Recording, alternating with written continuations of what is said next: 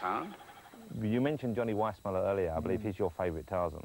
And I believe you got to work with some of the props and the artifacts that he used as Tarzan as well. Yes, I did. Oh, uh, one in particular was a mechanized, about 30-foot long alligator and had been sitting out on the back lot at MGM for years, so it didn't work. But they wired it up, put, put a wire on the snout, and pulled it across the, the cement uh, stream. And I jumped down on this phony alligator and uh, gave it my all and came out of the water, and everybody was falling down laughing on the shoreline. And I asked, what, what did I do wrong? apparently when I jumped on the alligator's head, the tail came up and it sank like a submarine. So they went back to more footage from an old Tarzan. More of that black and white footage, which so yes, artfully... Johnny, Johnny saved me.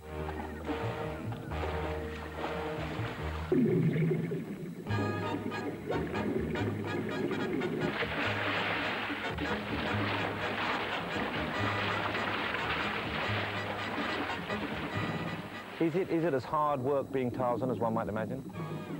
I don't think it's hard at all. It was play for me. Um, that's probably why they usually pick athletes to do it, you know. It's the broad-shouldered school of acting. It's not the neighborhood playhouse. It's a very, very scary, very uh, scary job for a guy who's a devout coward to play Tarzan, you know. I mean, it's a good acting job for me. I was frightened of heights and frightened of animals and frightened of Jane. It was a scary thing. How did you get this job? I, I, like I said, I was just, you know, eeny, meeny, miny, mo. And I did this uh, silly screen test where I came through this jungle soaking wet and recited the 23rd Psalm from the Bible. And that was 500 times more than I said during the whole film.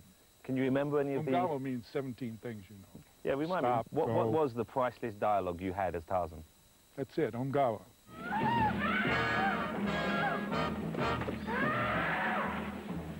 Umgawa! Umgawa.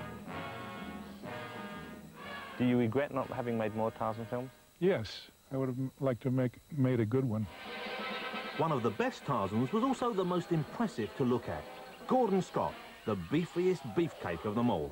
How important do you think your, your physical looks were then, your, your, your impressive physique was in, Oh, in yeah, I, securing the role? well, it had a great deal to do with it. I had no acting uh, experience at all. And uh, the, uh, the physical part of, of Tarzan is just that. I mean, they have to be impressive. John, well, Weissmuller had it. Uh, all of the other actors at least had a, uh, a decent body.